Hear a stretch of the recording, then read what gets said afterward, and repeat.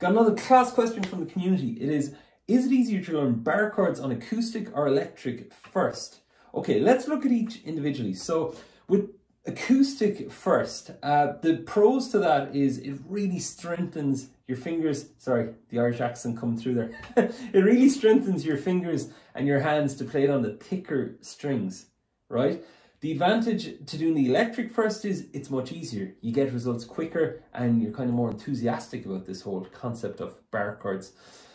Now, the pitfalls of each. Um, basically with acoustic, the pitfall is that you could be on a guitar where the strings are super thick and playing them will just be near impossible.